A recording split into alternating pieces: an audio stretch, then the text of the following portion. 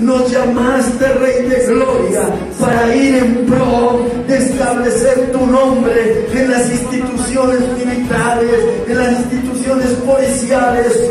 Darle las gracias porque el hecho de que ustedes estén acá, eh, sabemos que es dando un mensaje de parte de Dios y que no es un mensaje cualquiera, es un mensaje que en el momento, en la situación que cada uno de nosotros se encuentra, nos va a servir para fortalecernos, es un mensaje de esperanza, fortalecernos, esperanza.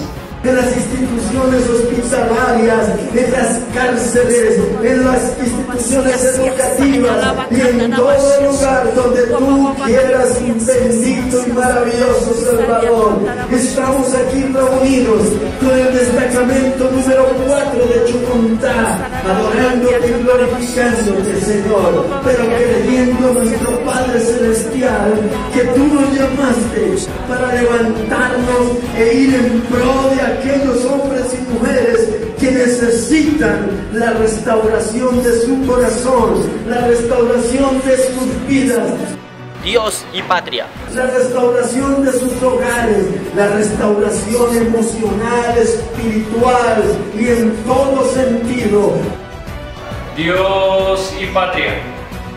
Aquí estamos como capellanes uniformados, orando y clamando y honrándote a ti, Señor.